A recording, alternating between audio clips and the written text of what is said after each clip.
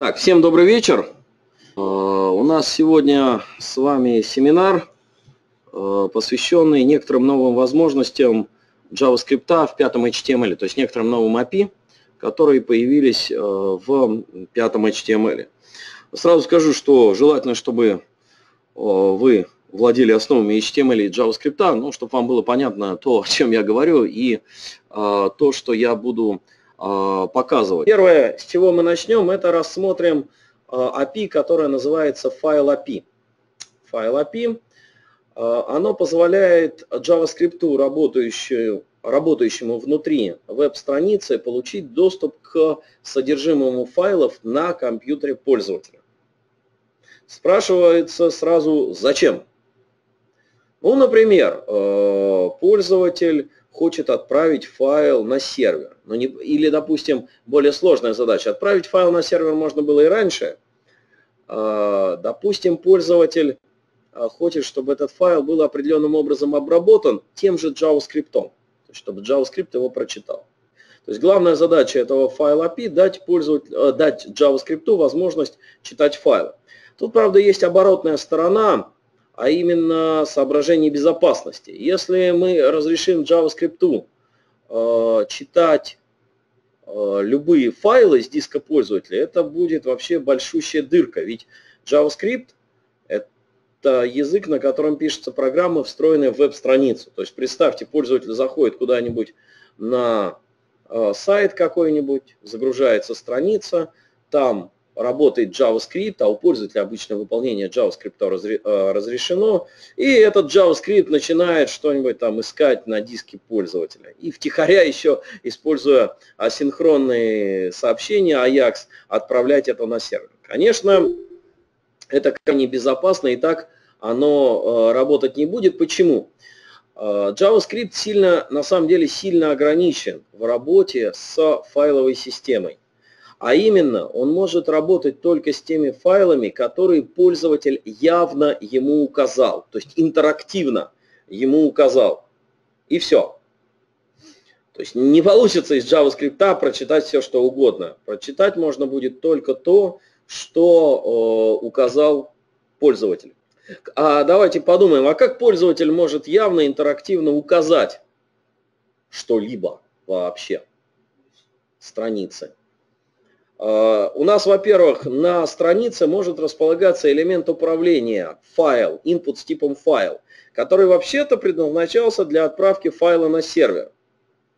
Но прежде чем файл будет отправлен на сервер, пользователь этот файл выбирает. Вот вам первый способ, как пользователь явно укажет, что да, он дает доступ к этому файлу этой страницы, а значит и JavaScript на этой странице. Второй вариант drag and drop. То есть пользователь может э, перетащить какой-нибудь файл, схватить его, допустим, в проводнике и кинуть в окно браузера. Но он опять как бы выразил явно свое желание разрешения на доступ к этому файлу. И, собственно, все. То есть ничего другого э, JavaScript просто так не прочитает. Что для этого есть э, в JavaScript? Значит, есть для этого несколько интерфейсов. Первый интерфейс Blob, а, который предоставляет возможность JavaScript работать с неизменяемой последовательностью байтов. Ведь у нас любой файл – это просто последовательность байтов. Вот есть интерфейс Blob, который, соответственно, позволяет с этой последовательностью байтов работать, но только читать их. У нас же фактически JavaScript может файлы только читать, вот. Поэтому это, вот этот Blob и называется неизменяемая последовательность байтов. Но эта последовательность байтов просто в памяти, а у нас-то файлы на диске, ведь файл не просто последовательность байтов, а именованная последовательность файлов на диске. Поэтому у этого интерфейса Blob есть наследник, это интерфейс файл. А вот он-то, вот он-то как раз а, предоставляет вам возможность получить информацию о файле, типа имя файла, размер файла и прочитать содержимое этого файла, но только прочитать. Только прочитать. Вопрос, откуда э, JavaScript получит вот этот самый объект файл? То есть для, JavaScript для того, чтобы э, работать, с содержимым файла, нужно вот этот самый объект файл получить. Создать его нельзя как таковой, его можно только как раз получить. То есть вот пользователь должен явно указать этот файл. Значит, вот получить его можно как раз в событиях либо drag and drop, либо в событии выбор файла в элементе управления input с типом файл. То есть мы можем на это событие прореагировать там и из свойств этого элемента управления мы можем получить фактически коллекцию этих файлов, которые, а, коллекцию объектов файла, которая называется файл лист. Почему коллекция? Ну, потому что вообще драг-н-дропом можно много файлов перетащить. И вообще-то input с типом файл может э, позволить пользователю тоже выбрать несколько файлов. Там есть атрибут multiple, multiple select, да, и тогда пользователь может выбрать несколько файлов. Поэтому на самом деле нам доступна вот эта коллекция файл лист. Она представляет из себя коллекция объектов файла. Дальше, что нам нужно, чтобы читать Э, содержимое файла, нам понадобится объект, который называется файл reader. Его-то мы честно создадим в JavaScript оператором new. Но ему для чтения нужен будет объект файл, который мы вытащим из файл э, листа. Так, какие здесь есть э, особенности? Непосредственно само чтение из файла реализуется методами объекта файл reader. Файл reader. Здесь важный момент. Э, чтение из файла происходит асинхронно. То есть вот эти методы, вот они, три метода с префиксом read, они только начинают чтение. То есть мы, э, вызвав эти методы, наша программа, она не ждет, когда чтение закончится. Как же мы узнаем, когда оно закончилось и как мы получим результат? Здесь нам помогут соответствующие события. Сейчас я о них тоже расскажу. Почему метода чтения 3? Потому что мы можем читать э, значит, файлы разных типов.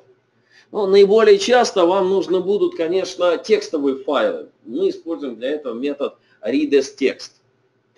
Э, можно прочитать бинарные файлы просто в виде массива, двоичного массива, э, заполненного байтами. Другой вопрос, что вы там с ним будете дальше делать.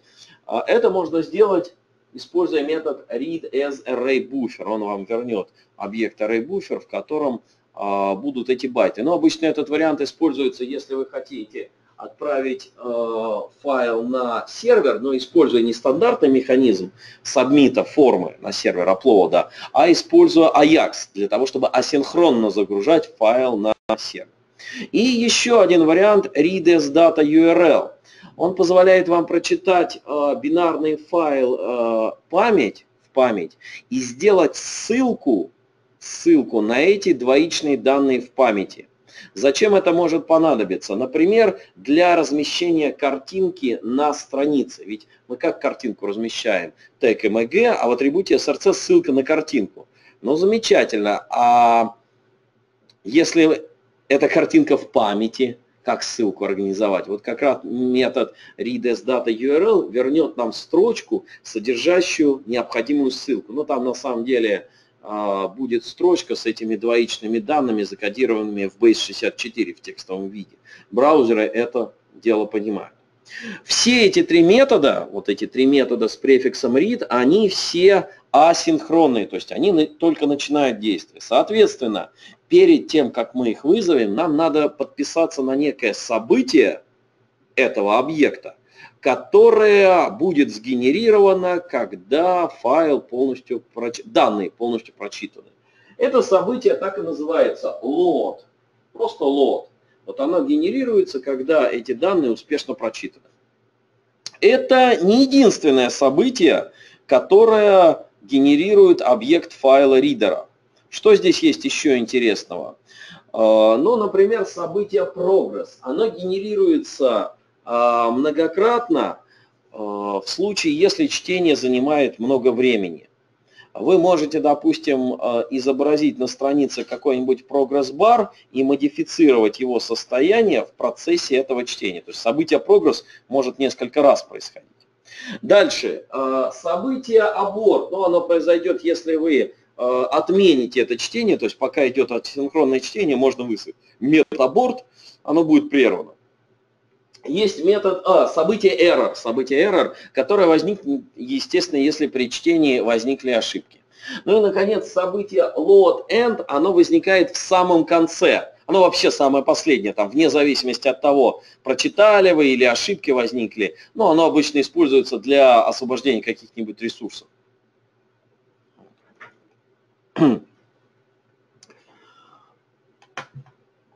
Итак, какая логика нашей программы, когда мы хотим, допустим, прочитать какой-нибудь файл, например, текстовый? Ну, первое, э, мы разместим на странице input с типом файл, раз. А, второе, в нужный момент времени, либо по событию от этого элемента управления, либо по нажатию на кнопку, мы э, создадим объект файла ридера, подпишемся на нужные события. Ну, как минимум, событие load нам, очевидно, понадобится. А дальше вызовем метод readText у этого файл ридера, не забыв про объект файл. Все. На этом, казалось бы, все закончено, но когда чтение будет закончено, сработает событие load, и в обработчике этого события а, в параметре в объекте event мы можем, вернее, не в объекте event, а в этом объекте источнике этого события у нас будет свойство result. Вот этот result будет содержать прочитанные данные. Точно так же можно прочитать двоичный файл, э, допустим, картинку, а потом сделать на нее ссылку. Только для этого вы э, вызовете метод readAsDataURL, а, а в результате у вас будет нужная ссылка. Ну, давайте посмотрим значит, на реальную программу, попробуем все дело написать. Сейчас я только тут шрифтик вам увеличу, а то он тут какой-то больно мелкий.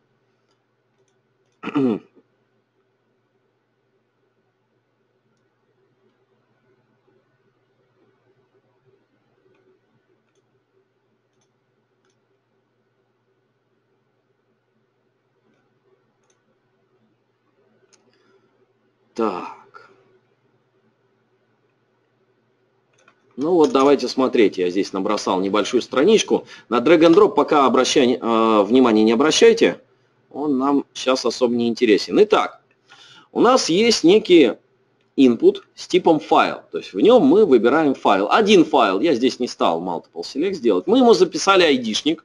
Айдишник нам нужен для чего? Чтобы у него вытащить э, файл-лист, из которого мы э, получим объект файл.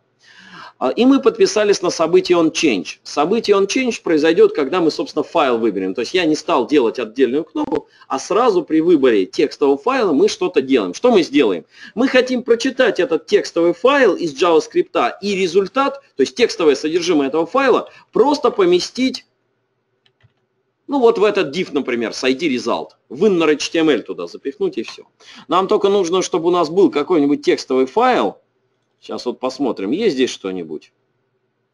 Ну вот что-то есть, не знаю, вот какой-то здесь есть текстовый файл. Подойдет он нам? Ну, я думаю, подойдет.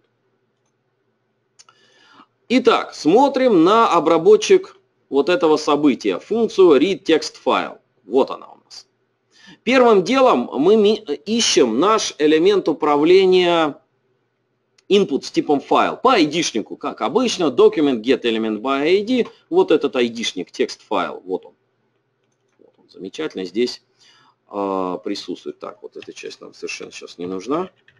Мы ее аккуратно закомментируем.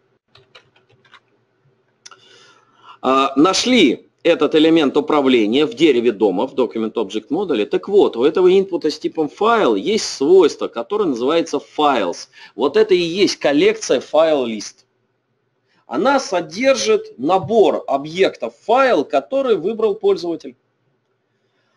Но первое, что мы делаем, проверяем, а выбрал ли пользователь что-нибудь. То есть, если он вообще файлов не выбрал, то, очевидно, размер этой коллекции будет равен нулю, мы ничего не делаем. Если же он что-то выбрал, то мы можем взять элемент этой коллекции, в данном случае нулевой, да, первый по порядку, это и будет объект файл.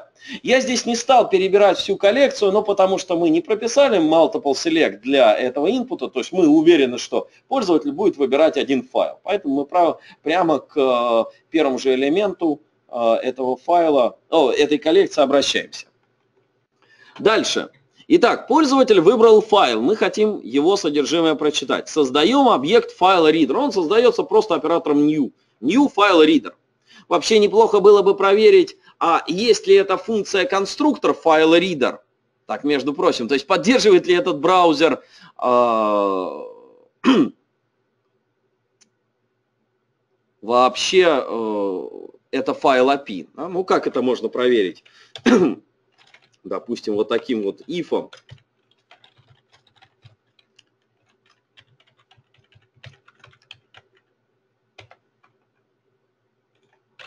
файл reader равно function. Да? Если такая функция у нас есть, вот тогда мы что-то там делаем. Если нет, ну, увы, значит, файл API не поддерживается, мы вообще сделать ничего не сможем. Вот, я закомментирую здесь. Итак, файл reader мы создали. Прежде чем мы начнем чтение, неплохо бы подписаться, подписаться на э, события. Со, э, в данном случае, как минимум, на события load. Как мы подписываемся на события в JavaScript? Ну, старый способ это добавить этому объекту э, метод, имя которого совпадает с именем события с префиксом on. То есть, если я подписываюсь на а, события load, я вот добавляю метод onload, который реализован вот этой анонимной функцией. Понятен этот код? Да. Вот. А, вообще сейчас какой способ рекомендуют использовать для подписки на а, событие add event listener. Add event listener, вот здесь я тоже напишу. Первым параметром идет имя события без префикса on, а вторым параметром идет анонимная функция. Function параметр объекта event, и вот здесь-то обработчик события. Вот так. Ну, я это в комментариях напишу. В данной ситуации это не принципиально. Это событие произойдет, когда чтение закончится. Мы чуть позже разберем содержимое этого обработчика. А дальше мы вызываем, собственно, функцию чтения. Вот она, read as text мы текстовый файл читаем, параметром всех этих функций, методов, вернее, с префиксом read, идет объект файл. Как я уже сказал, мы берем коллекцию файл лист из нашего инпута с типом файл и обращаемся к первому же элементу. Вот он, объект файл. Метод readEsText начинает асинхронное чтение, несмотря на то, что дальше у нас вроде как кода нету, на самом деле чтение будет происходить, и когда оно успешно закончится, будет вызван метод о, вот этот, событие, onload и наш анонимный, а, наша анонимная функция. Что она сделает? Мы найдем элемент div с ID result, куда нам, собственно, надо выложить результат. А откуда же мы возьмем сам результат? Из свойства result источника события. Ну, источник события можно, например, получить через свойство target а, параметра. Параметром обработчика события обычно является объект event, объект event, который а, браузер сам передает этому обработчику. У него есть свойство target, это источник события. Ну, фактически это вот этот файл reader на самом деле. Файл reader. Можно было так и написать reader. А у него есть свойство result. Это и есть прочитанный текст. И мы загоняем этот прочитанный текст в inner текст этого дива. Ну, давайте проверим, как оно будет работать. Сейчас попробуем это запустить как-нибудь. Сейчас сервер запустится. Вот наш input с типом файл. Выбираем файл текстовый. Так, э, вот здесь вот он у нас где-то лежит. Вот он, текстовый файл. И вот обратите внимание, содержимое этого текстового файла появилось на нашей странице. То есть мы из JavaScript его прочитали, прочитали текст и уже дальше сделали, в принципе, все, что э, хотели. То есть можем на сервер отправить, да, там, можем куда-нибудь в скрытое поле записать. Вот и все. Вопросы вот здесь есть какие-нибудь?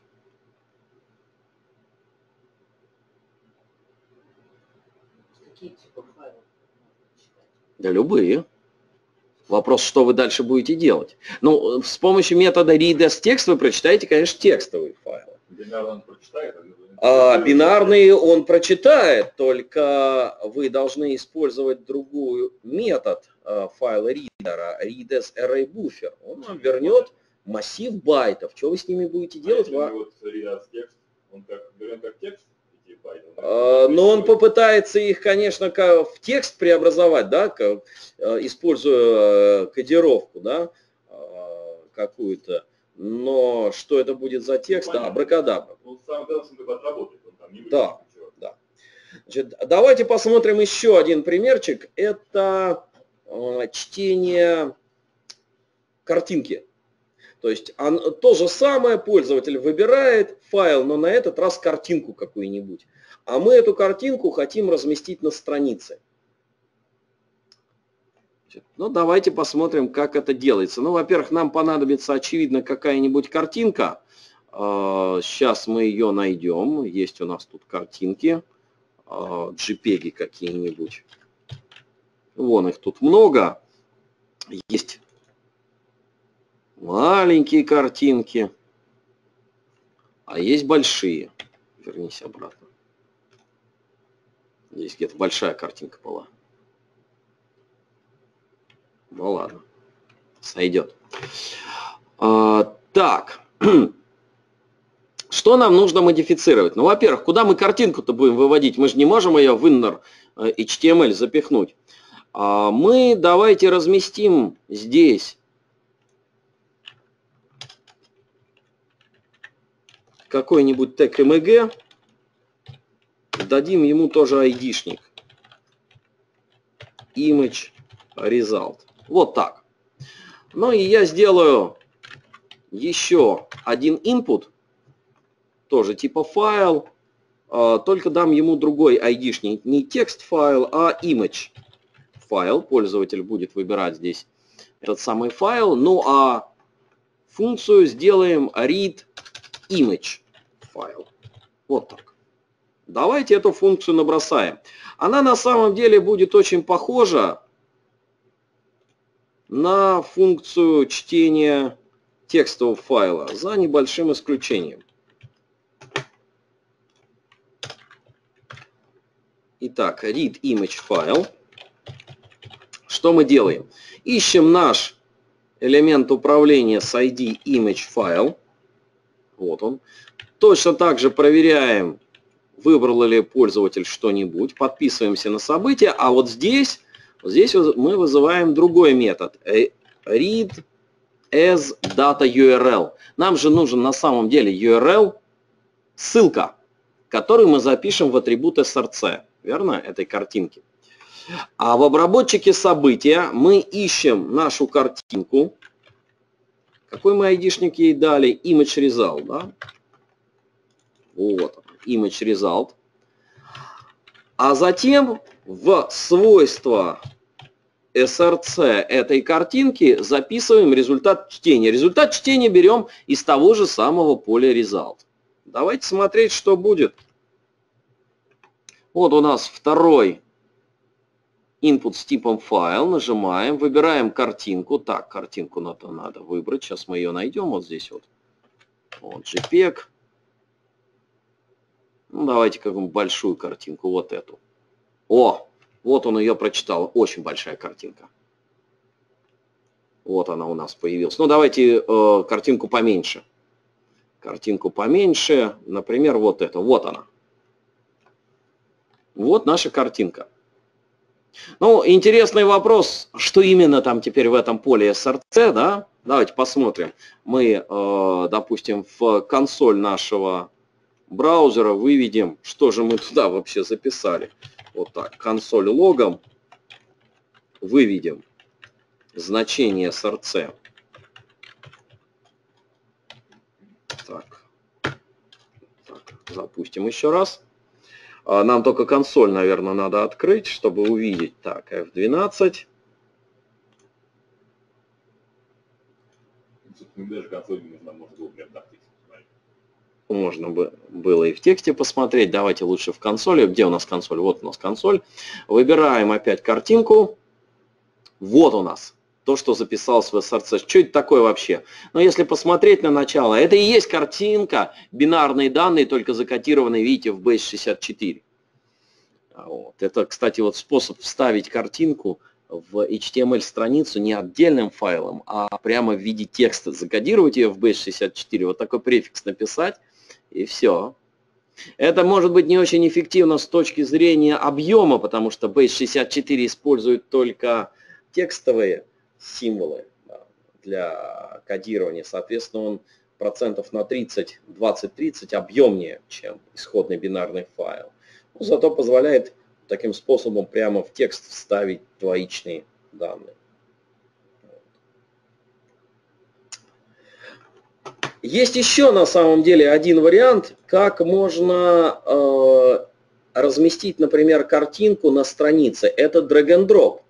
Э, тут вопрос только в том, откуда мы возьмем вот этот объект файл. Сейчас мы его брали из коллекции файл list инпута с типом файл. Но мы с вами посмотрим, что в событиях, связанных с drag and drop, когда мы на страницу бросаем какой-то там элемент, содержащий файл, файлы перетаскиваем, там тоже будет эта коллекция файл лист. И оттуда мы точно так же берем объект файл, а дальше делаем то же самое. Там, правда, есть одна проблема, с, один момент, о котором нужно помнить, это отмена стандартного обработчика. Но я об этом скажу. А так, в принципе, то же самое. Так, хорошо. Тогда давайте посмотрим, собственно, drag and drop. Drag and drop вот он. А, drag and drop, все представляют, что это такое. Это возможность как бы схватить какую-то сущность, какую-то информацию и перетащить, а потом бросить. Вот то место, куда вы бросили, она как бы эту информацию получит. Что, он, что она там с этим будет делать, это вот вопрос реализации. Таким образом можно сделать там, копирование файлов, перемещение файлов, копирование блоков текста, например, в текстовом редакторе и так далее. Зависит от конкретной Э, реализации. Причем такое перемещение информации возможно не только в рамках одной программы, но и между разными программами. То есть мы можем, допустим, в проводнике файл и перетащить, э, к примеру, прям, допустим, в тот же браузер. Собственно, это работает по умолчанию, только в этой ситуации, например, браузер просто откроет этот файл. То есть, например, если я вот сейчас вот, возьму окно браузера, возьму какую-нибудь картинку и вот так перетащу. Что произойдет? Давайте посмотрим. Просто эта картинка откроется. То есть браузер просто откроет этот ресурс. У нас э, изменится адресная строчка. Это потому, что в браузере уже встроен обработчик drag-and-drop файлов. Он просто эти файлы открывает. Это, конечно, не очень удобно, потому что мы-то, наверное, хотим, например, перетащить файл на страницу поместив эту картинку в определенное место, то есть не выгружать нашу страницу, а как бы подгрузить этот файл на эту страницу. Ну, давайте рассмотрим, как вообще работает drag and drop. Кстати, интересный момент. Впервые drag and drop был реализован Microsoft в Internet Explorer. Редкий случай, когда Microsoft на острие технического прогресса. Да? Потом это реализовали в других браузерах. Ну, как обычно бывает, первый блин комом, поэтому сейчас в других браузерах это реализовано лучше, чем в Internet Explorer. В Internet Explorer есть определенные проблемы. Итак, какие вообще есть э, сущности в drag and drop? Значит, э, первая сущность – это то, что вы можете схватить. Этот элемент называется draggable. draggable. А вторая сущность – это дроп-зона, это то место, куда можно кинуть элемент. Сам по себе API этого drag-and-drop построен а, просто на событиях. То есть вы, во-первых, должны объявить элемент как draggable. Это можно сделать атрибутом одноименным, либо из JavaScript соответствующее свойство указав элементу. Только после этого можно будет элемент схватить. А, дальше Дальше. Вы можете подписаться на события, причем как у dragable элемента, так и у дроп-зоны. И вот в обработчиках этих событий вы как раз логику drop реализуете. Здесь у нас спрашивают, как использовать с работающим сайтом и можно ли таким образом забирать видео. Я не очень понял, это к чему относится, к драг-н-дропу или к файл API? Вот. Файл API. Значит, файл API позволяет вам забрать любой файл с компьютера пользователя, прочитать его, э, который указал этот самый пользователь. Это может быть картинка, это может быть видео и так далее. Вот. Зачем вам это нужно? Другой вопрос. Наиболее часто это используется для асинхронной отправки этого файла на сервер, потому что обычный upload инпутом с типом файл, он же делает синхронную отправку.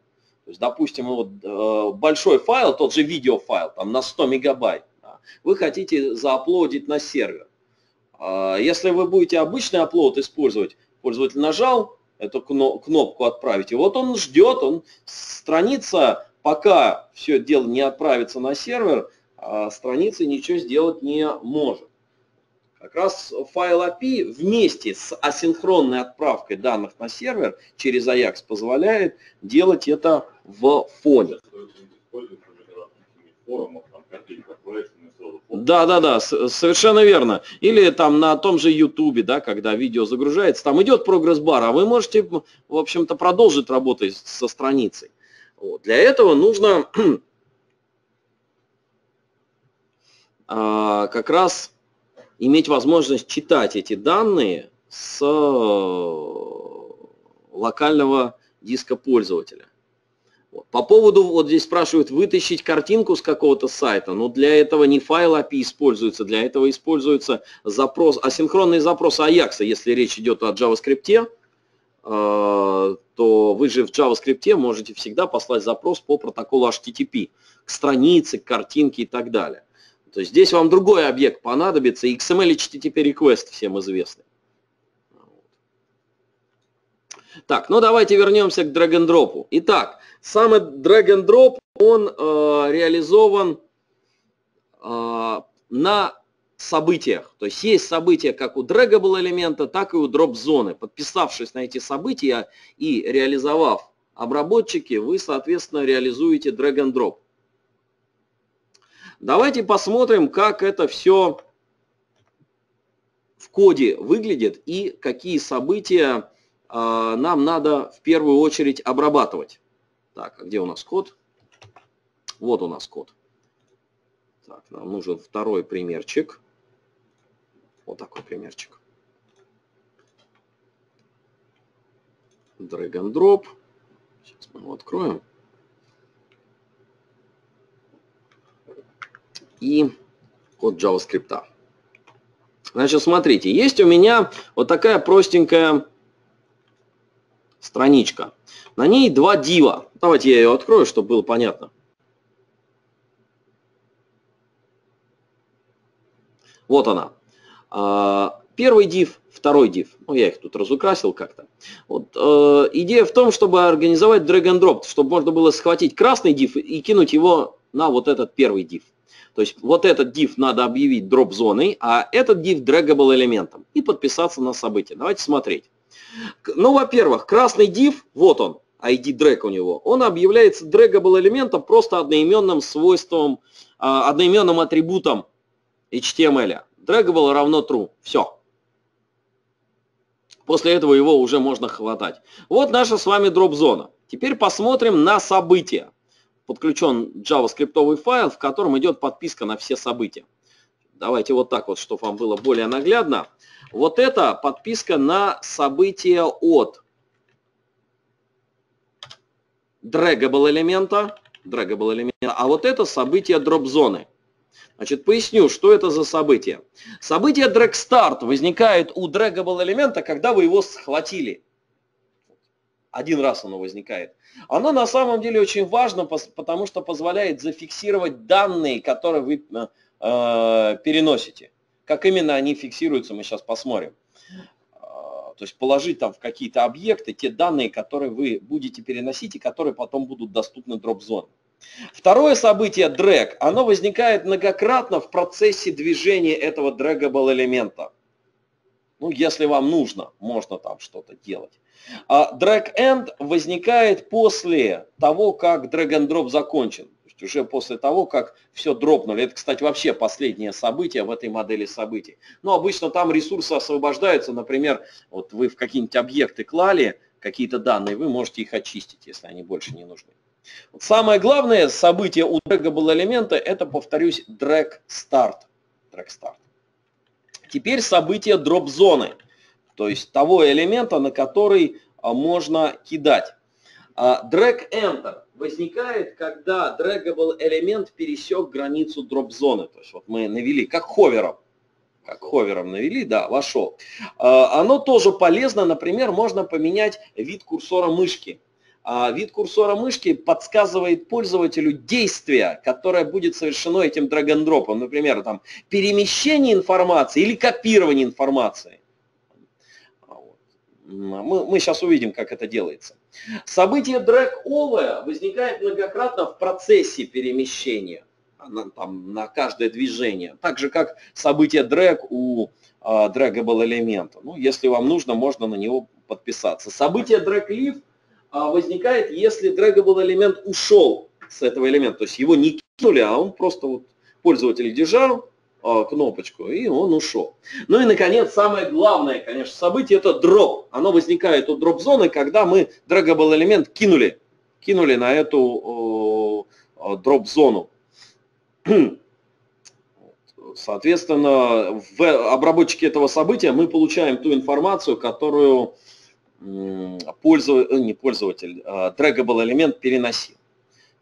Это предпоследнее событие. После события drop на самом деле происходит событие drag end у draggable элемента. Самый, еще раз повторюсь, два самых главных события это drag start у draggable элемента и drop у drop zone. Давайте посмотрим вот на эту страницу. Здесь мы подписались на самом деле на все эти события, а просто для того, чтобы увидеть порядок их возникновения. На этой странице, на этой странице мы выводим по каждому событию информацию, просто на страницу, там вот отдельный элемент, output, туда в inner HTML мы добавляем эту информацию. мы сейчас это увидим. Обратите внимание на события drag start и события drop. А, два самых важных события. Вот в событии DragStart мы как бы фиксируем данные, которые мы собираемся переносить. Для этого есть объект, который называется Data Transfer. Вот он, Data Transfer. Этот объект можно получить у объекта Event, который идет, как обычно, параметром всех событий. Фактически можно представить э, этот объект как key-value коллекцию. Мы туда добавляем данные методом setData – ключ и значение. Ключ и значение. А потом, когда произойдет событие дроп, то есть когда мы дропнем наш draggable элемент, где он тут у нас? Вот. А, не-не-не, это не то. Вот. Мы можем из этого объекта дата трансфер вытащить эти данные по ключу методом get data. Так. Дальше, что здесь еще интересного? Это у нас drag start. А, дальше, а, вот этот метод handle drag, ну это в процессе движения. Поскольку этих событий происходит много, то здесь вот код, который не показывает каждый раз происходящее событие, а показывает только один раз. Иначе там просто будет длинный листинг на каждое перемещение мышки, это событие. А, событие drag enter, оно возникает, когда мы навели наш draggable элемент на возможный обработчик. Но тут надо иметь в виду, что в браузере может быть встроенный обработчик этого события. Мы можем отменить работу встроенного обработчика каким образом? Используя метод prevent default объекта event, который передается как параметр. Видите, здесь сделали хелперную функцию cancel, cancel которая отменяет стандартный обработчик вызывая метод prevent default. Есть еще старый способ, старый способ отмены стандартного обработчика.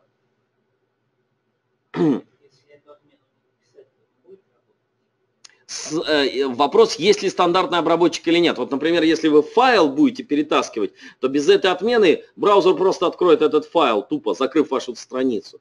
Вот это нужно вот для таких ситуаций.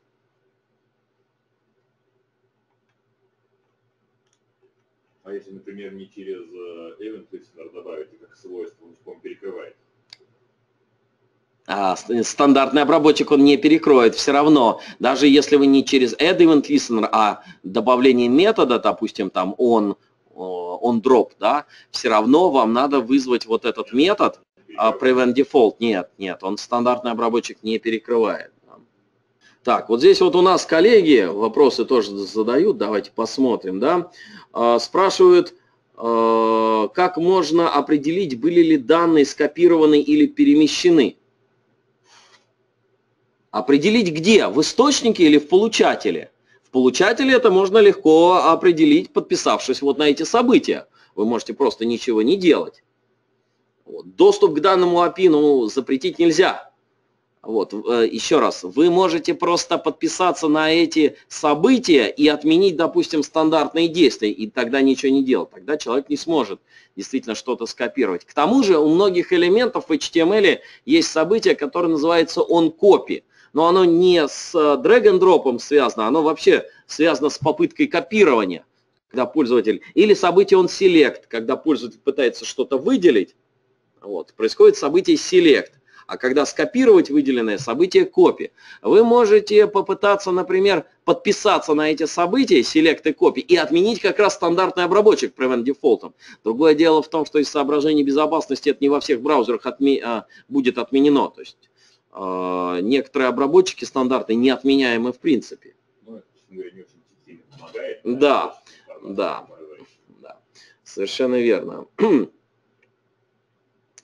По поводу того вообще, какие элементы можно делать draggable, там, допустим, элементы таблицы и прочее, но это вот надо посмотреть а, в документации, есть ли это свойство draggable для данного элемента. Вот для div оно есть, пожалуйста. Блочный и не блочный. Нет, там, по-моему, любые можно, и блочные, и строчные, это не принципиально. У нас картинка, например, вообще, какая она там, строчно-блочная, верно? Вот, ее, в общем, тоже можно сделать draggable элементом и куда-нибудь переместить, поэтому э, это-то не проблема. А тоже любой. Может быть, да. Да, совершенно верно, может быть. Canvas может быть. Э, э, вы обратите внимание, дроп элемент, он вообще никак специально в HTML не маркируется. Это просто вот элемент, любой вообще визуальный элемент. Просто мы подписываемся на события. Вот они, события у дроп элемента. События у дроп элемента. Также можно и с таблицей, в принципе, попробовать э, сделать. Так. То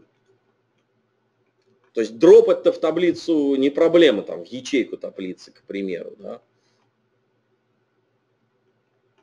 Здесь спрашивается, как подписаться на события. Ну как мы на события подписываемся? Вот же у нас подписка на события. Если речь идет о других событиях, допустим, там события Select, Copy, вот так вот вы под... вот так вот. Вот так вы на них и подписываетесь. Add Event Listener. Название события, обработчик события. Я только повторюсь, не все стандартные обработчики событий можно отменить вот этим prevent дефолтом. Это сделано из соображений безопасности. Так, окей, давайте дальше смотреть, что здесь есть еще. А, это у нас с вами событие drag enter, про него я сказал. А, ну, drag leave, drag leave, тоже здесь ничего особенного нету. Drag over, оно тоже возникает многократно в процессе перемещения draggable элемента над дроп-зоной, над дроп-зоной. И, наконец, самое главное событие – дроп. Вот, вот его обработчик. А, в обработчике этого события мы вытаскиваем перемещаемые данные из дата трансфера. Из дата трансфера. Ну и дальше делаем с ними все, что хотим. Это наше личное дело, что делать с ними. Да? Ну, в данном случае вот э, в дроп-зону вписывается дата, когда мы дропнули туда эти данные.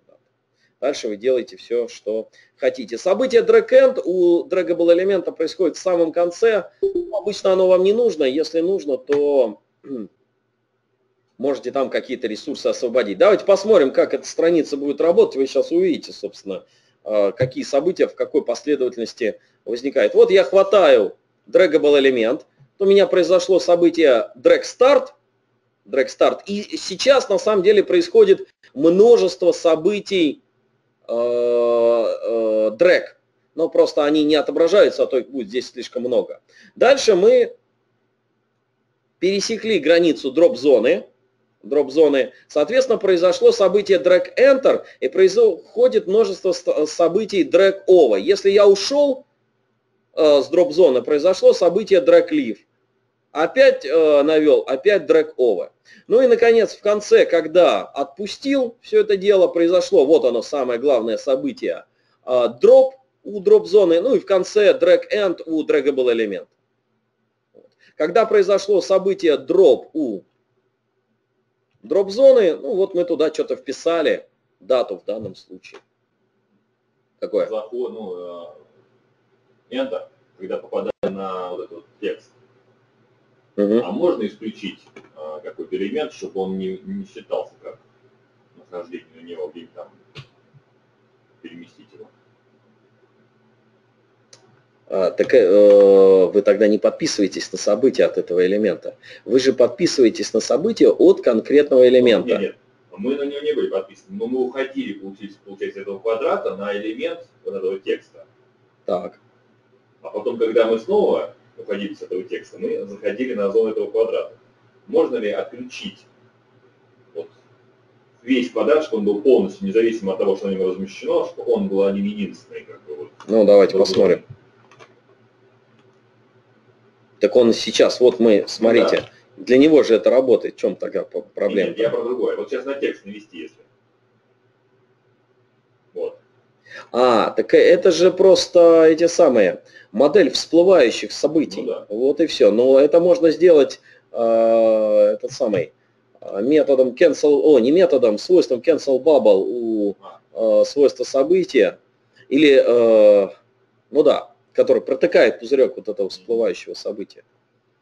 Так, вот здесь у нас коллеги еще интересуются, можно ли спрятать те или иные действия. Имеется в виду, какие действия? События, так, а что их прятать? Вы просто не подписываетесь на нужные события и все. Это мы вот в данном примере подписались на все возможные события, чтобы вам продемонстрировать, в каком порядке они э, происходят. В реальности вы подписываетесь только на те события, которые вам нужны. Но в самом минимальном варианте это drag start обычно и, и дроп у дроп зоны.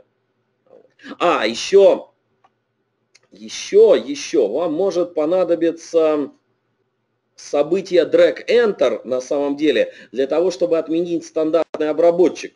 Стандартный обработчик, иначе он не позволит нам э, туда это дело дропнуть. Так. Здесь э, вопрос по поводу таблицы. Можно ли из дивов сделать таблицу? Ну, можно, конечно, из дивов сделать таблицу, не проблема, да. Вот, и указать draggable для дива, если сама таблица этого вдруг не позволяет. Почему нет? Вот еще раз, вы не обязаны здесь подписываться на все возможные события, только те, которые вам нужны. Обычно это ну, главное событие дроп. Давайте посмотрим еще один примерчик, тоже с драг-н-дропом. А мы вернемся, э, так, не этот примерчик, вот этот примерчик. Мы вернемся туда, где у нас, значит, э, было чтение файла, чтение файла. И вот здесь посмотрим, как обработать ситуацию, когда пользователь э, берет картинку и драг-н-дропом тащит в окно нашего, нашей страницы, в окно, содержащее нашу страницу, в определенное место. Вот обратите внимание, здесь есть вот такой div с ID final place. Final place. Э, так, этому диву, наверное, прописаны размеры. Вот они, 200 на 200. То есть на самом деле это вот этот вот квадратик, это и есть final place. И мы подпишемся на парочку событий от него. Ну, в данном случае даже не через JavaScript, а вообще через HTML. Вот они события drag over и drop. Drag over это когда пользователь а, навел то, что он схватил на эту дроп-зону, и drop это когда он кинул. Давайте посмотрим на обработчики. этих самых событий. Так. Значит, смотрите, э, первый обработчик drag over вызывает метод prevent default. Он отключает дефолтную обработку. Дефолтный обработчик, который есть в браузере, иначе он не позволит нам туда ничего кинуть. А второй, второй обработчик, а, кстати, у нас там еще был третий, по-моему, ну-ка. А, это дрэк на самой, э, у, у самой страницы. Хорошо, сейчас его тоже посмотрим. Значит, э, второй обработчик события drop у э, drop зоны, он вытаскивает переданные нам данные вот из этого объекта data transfer. А что мы будем таскать? А таскать мы будем вот такой элемент. Вот здесь некий текст. Он там желтым подсвечен, посмотрите внимательно. Вот он, текст. Ему указан, что это draggable элемент. Кстати, обратите внимание, это не блочный элемент, это строчный элемент, span. Мы можем его схватить. Когда мы его схватили, вот у нас событие drag происходит, мы туда можем загнать какие-то данные. Ну, вот здесь алертом. Алерт, наверное, не очень здорово. Лучше посмотреть в логе. Консоль логом.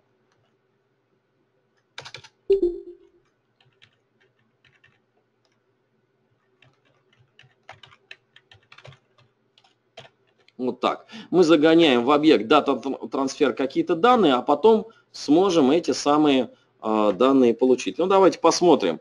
Если нигде не ошиблись, то вот этот желтый спен, видите, можно таскать. Его можно таскать по всей странице, но кинуть можно только сюда. Почему можно только сюда кинуть? Вот обратите внимание, когда мы курсор мышки навели на этот элемент, у нас же произошло событие drag enter, а там мы отменили стандартный обработчик. Это позволяет туда что-то кидать. У нас и курсор мышки изменился. Вот мы кидаем. Но, правда, здесь есть одна проблемка. Давайте посмотрим в консоль.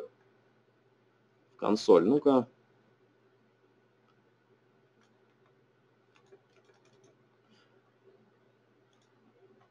Видите, здесь у нас получается пустые данные. К сожалению, вот этот объект data transfer не очень надежно работает. Вот, поэтому часто вместо него используют просто какой-нибудь глобальный объект. То есть, допустим, на событии drag start туда что-то пишут, ну, допустим, просто в глобальную переменную, а на событии drop что-то извлекает. Ну, давайте я попробую это сделать. Подпишусь на событие drag start. Вот так. On drag start. Вызовем такую функцию. Сделаем такую функцию.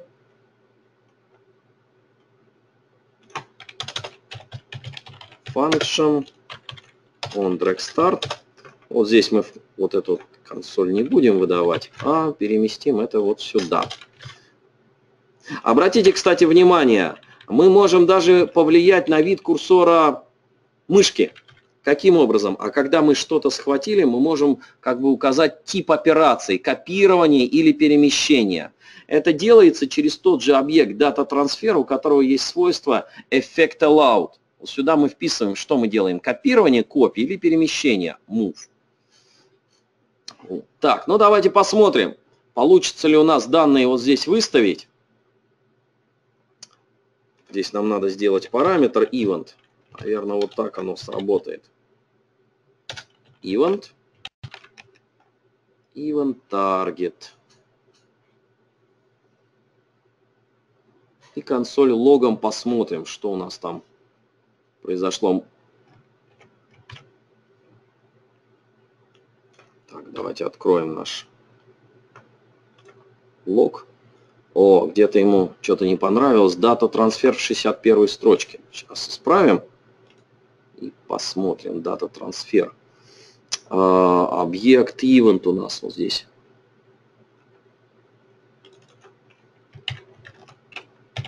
Тут про диаграммы Ганта спрашивают, ну сейчас про это тоже скажу.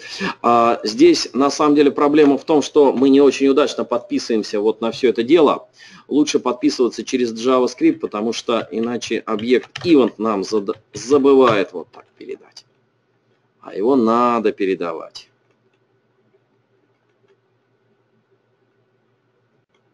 Где у нас трек старта? Вот он. Так, сейчас еще раз попробуем. А там Е, а там И вот разные А, это уже не важно. Так. Вот он, мой текст, да, мы его схватили. Вот он у нас замечательно перемещается. Вот, исправили. То есть видим, что этот дата-трансфер работает. Он просто в предыдущем примере не работал, потому что мы забывали объект event вот сюда передавать. Вот здесь у нас его не было параметра, и он, соответственно, не работал. То есть еще раз, на drag мы в дата-трансфер загоняем перед, э, перемещаемые данные, указываем э, вид операции, копирование или там перемещение, что влияет на вид курсора мышки. Дальше на событии drag over отменяем стандартный обработчик, а в обработчике события drop вытаскиваем перемещенные данные из того же дата трансфера. Вопросы есть здесь какие-нибудь? Здесь у нас коллеги спрашивают, как реализовать сложные графические объекты типа э, диаграммы Ганта и прочее. Но в пятом, в пятом HTML у нас же с вами появилась такая штука, как SVG.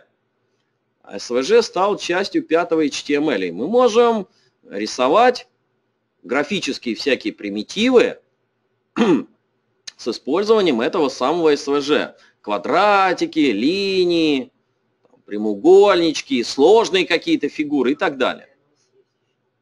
Ну, Canvas, да, но с Canvas, а, Canvas для этого не очень хорошо подходит, потому что то, что вы рисуете на Canvas, не влияет на дом, Document Object Model, а значит не генерирует события. То есть у вас с точки зрения дома существует только Canvas, и все. Ничего больше. Вы, конечно, там можете все что угодно а, JavaScript э, нарисовать, но если вы хотите отслеживать события от вот этих элементов той же диаграммы Ганта и прочее, вам э, придется, вы можете там только координаты курсора мышки получить. Да? Удобнее в этой ситуации использовать как раз SVG.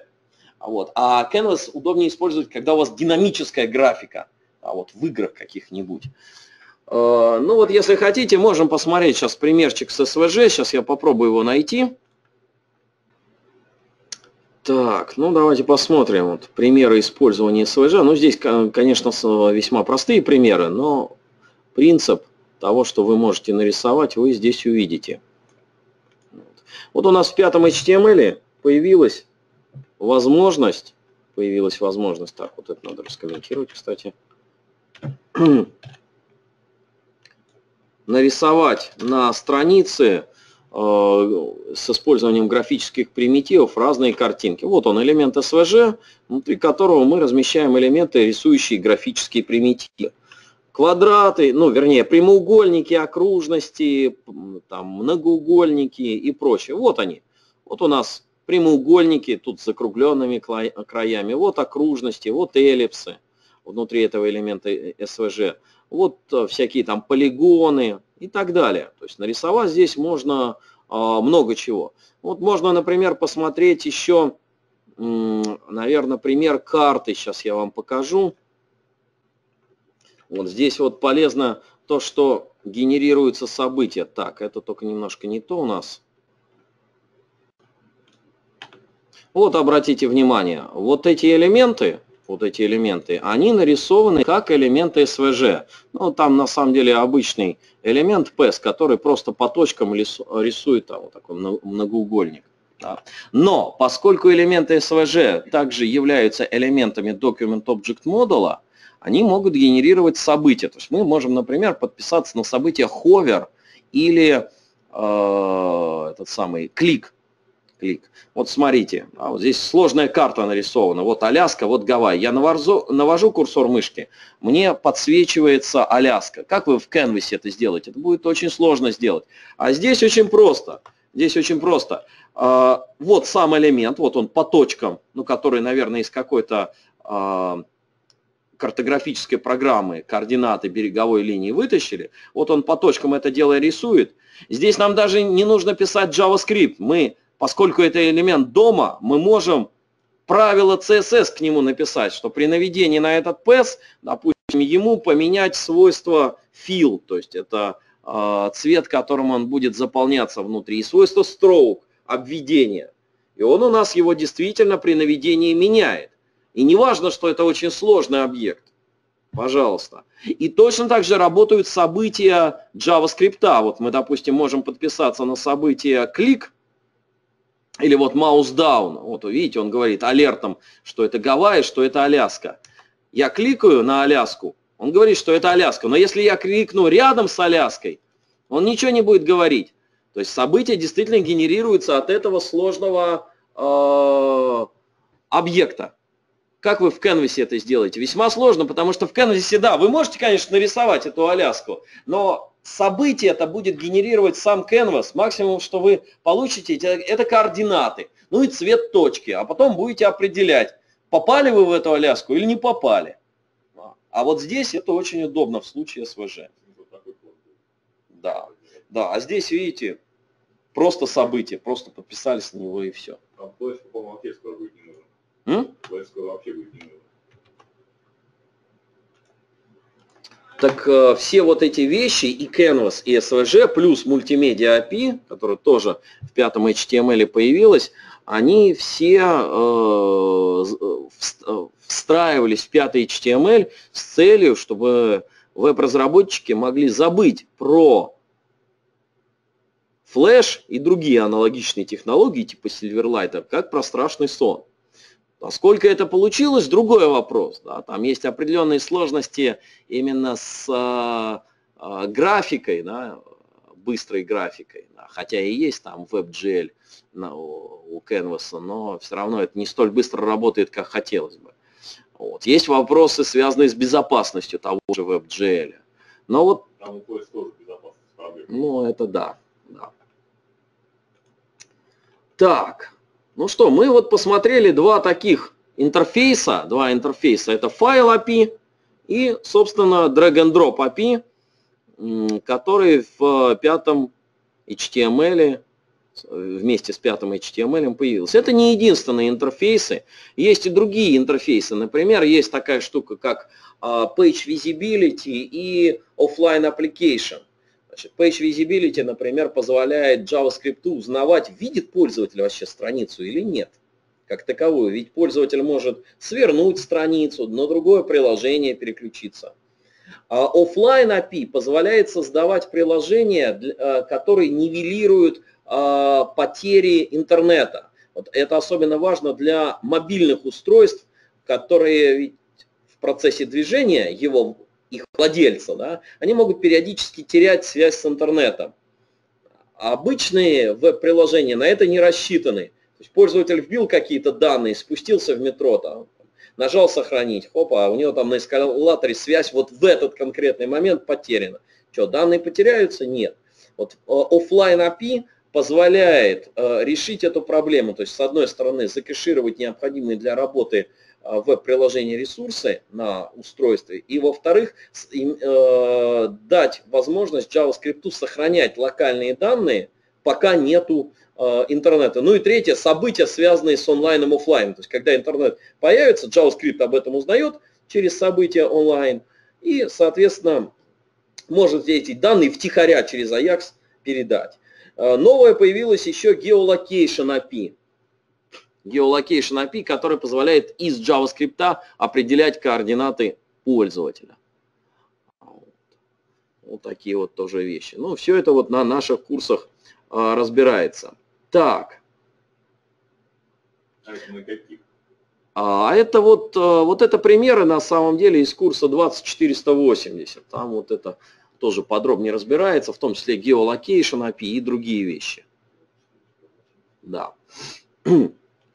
Здесь спрашивают э, по поводу рельеф накинуть. Ну, накинуть рельеф это уже такие трехмерные вещи. Это вы должны использовать WebGL контекст для Canvas. Для Canvas. А вот. Canvas это элемент, который тоже появился в пятом HTML, внутри которого можно рисовать, но не как SVG э, элементами HTML, а командами JavaScript. Командами JavaScript. Э, стандартно э, есть только один контекст для этого canvas, э, то есть контекст это набор инструментов рисования, это двумерный контекст. Он вот позволяет рисовать просто линии, там окружности, прямоугольники и прочее. Но есть еще один контекст экспериментальный, он называется WebGL. он дает возможность в рамках этого canvas использовать OpenGL, который позволяет всякие сложные трехмерные объекты реализовать. Но с WebGL есть проблемы. Во-первых, он не всеми браузерами поддерживается. Во-первых, он не является частью стандарта 5 HTML. Его туда не включили э, из соображений безопасности, потому что фактически у вас JavaScript получает возможность использовать ресурсы видеокарты напрямую чуть ли не напрямую. Это небезопасно, эта архитектура считается небезопасной.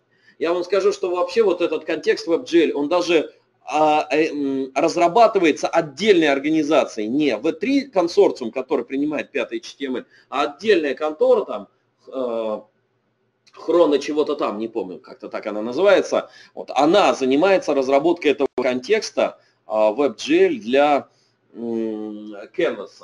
Работает он в Firefox, например, при установке подходящих драйверов.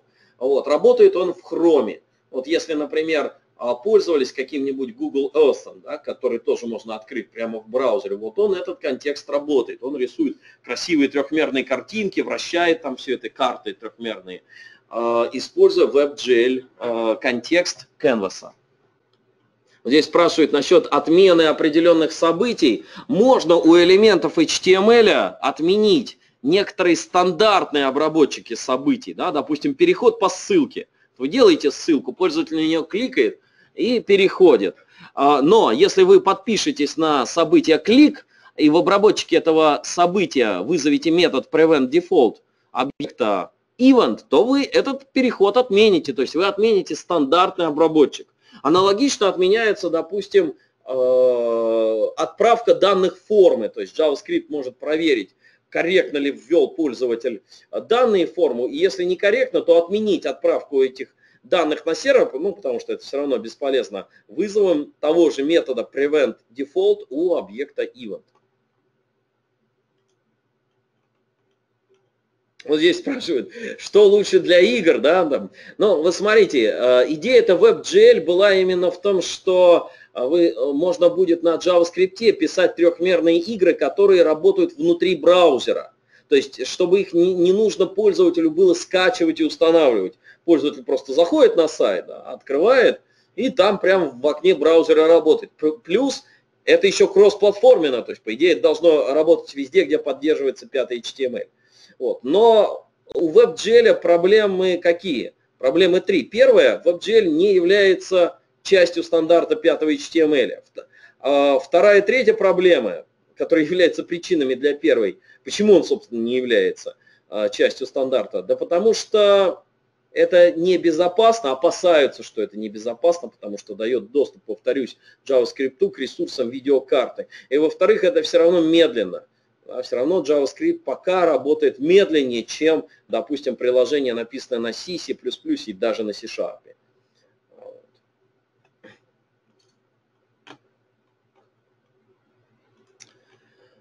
Так. Есть библиотеки, которые там позволяют рисовать достаточно как-то раз на одном из семинаров Тарасова была показана, какая-то, я уж не помню, как она точно называется, библиотека для рисования ну, двумерного или трехмерного? Трехмерного. Ну, так она WebGL использует. Вот. А библиотек таких сейчас уже э, много существует, да. Ну, там прям здорово, прям там такая сеть нарисована, такой, такой трехмерный граф, он там берет, там, дергает за что-нибудь, и нас потянул. Прикольно. Нет, ну это в принципе можно реализовать, но там именно вопрос производительности. Вопрос производительности. Вот. Но здесь вот коллеги упоминаю, упоминают как раз э, вот эти библиотеки, да, э, надстройки, да, вот 3GS там и так далее. Вот можем посмотреть. Но они э, используют все равно WebGL контекст Canvas. Вот, допустим, 3GS. Вот у него сайт прям такой. Они все равно используют э, контекст WebGL этого самого Canvas. Ну, вот здесь какие-нибудь примерчики можно глянуть. Сейчас у нас в хроме, ну, в хроме, по идее, должно работать. Ну, допустим, текстура, да, вот, как, вот она текстура, да, я двигаю мышкой. Соответственно, обработчик э, движения мышки, движения мышки э, посылает команды уже через WebGL на изменение этой картинки. Ну вот можно посмотреть этот текст, Где у нас тут начало-то этого контекста? Вот обратите внимание, первое действие, вот мы получили элемент canvas, элемент 5 HTML по э, его названию, а дальше первое, что мы делаем, вот он, canvas, get контекст, получаем контекст, сейчас я покрупнее попробую сделать, мы получаем контекст, вот он, WebGL 2 уже, вторая версия, вторая версия этого WebGL. Фактически контекст Canvas это э, э, набор инструментов рисования. Стандартно, повторю, есть контекст 2D. WebGL это вот такой эксперимент, но очень успешный. Очень успешный. А потом уже, используя методы этого контекста, дальше вся работа по факту идет только с контекстом. То есть с этим самым набором инструментов. Вот. Мы посылаем ему эти команды, которые выполняются в данном случае а, видеокартой видеокартой. Вот, а 3GS, вот она, это надстройка над WebGL, она его все равно использует. Так, вот здесь еще коллеги интересуются дата-бандингом э, с базами данных. Дата-бандинг это когда связывают, связывают э, источники данных с визуальными элементами управления. Здесь надо иметь в виду следующее. А, ведь если мы говорим о клиентском JavaScript, он работает на стороне пользователя. Базы данных, они на сервере, и напрямую к ним доступа нету. нету. А другое дело в том, что вы можете использовать сервисы, веб-сервисы вашего приложения, которые на веб-сервере будут размещены, запрашивая которые JavaScript может получать данные. Sуществуют различные библиотеки контролов, контролов а, ну, например, jQuery UI. Есть известная библиотека jQuery, а есть а, jQuery UI, который использует jQuery и позволяет строить различные библиотеки контролов, виджетов, там таблицы всякие и так далее. Вот эти контролы, например, из jQuery UI, можно бандить, бандить но источниками данных будет не напрямую база данных, а, например, веб-сервисы. А, веб-сервисы, которые мы будем вызывать через Ajax. То есть нам нужно будет еще на сервере реализовать эти веб-сервисы, используя серверное а, веб-приложение, которые будут отдавать данные из базы данных. Напрямую мы из клиентского JavaScript с базой данных не работаем, потому что база данных обычно недоступна, не торчит в интернет. Обычно этот доступ осуществляется через э, сервисы. Через сервисы. Здесь спрашивают, как ускорить работу приложения, написанного на JavaScript. Но, к сожалению, это вопрос не к разработчику, в большинстве случаев не к разработчику на JavaScript, а к разработчику э, браузеров. Ведь браузер занимается выполнением команды Э, JavaScript. Разработчики браузеров стараются, стараются. Вот в свое время, когда Chrome, о, когда Google выпускал первую версию Chrome, вот, у них JavaScript работал раз в 10 быстрее, чем э, в остальных браузерах. За счет чего? Они от режима интерпретации перешли в режим JIT-компиляции, когда берется весь код и не построчно интерпретируется, а целиком переводится в памяти в машинный код, а только потом выполняется. Плюс там еще всякие доработки сборщиков мусора и так далее. То есть вот Chrome, он славится скоростью выполнения JavaScript. В других браузерах все медленнее еще. Но этого, даже этого пока не хватает, когда речь заходит вот о динамических играх. Увы. Апгрейд Да, апгрейд. Но даже апгрейд до конца не решает вопрос, когда вот дело доходит до WebGL и прочего. Вот. Тут разработчик, который пишет на JavaScript, ну, мало что может сделать. Ну, конечно, он может как-то там более оптимально написать свой алгоритм, но по большому счету все утыкается в производительность транслятора JavaScript, который встроен в сам браузер. Ведь у нас с вами э, программа на JavaScript на клиентский компьютер попадает в виде исходного кода. Она же э, из, предварительно ни во что не компилируется. Это вот транслятор может сделать там JIT-компиляцию и прочее. Да, но это зависит от конкретного браузера, но по мере загрузки, да, совершенно верно.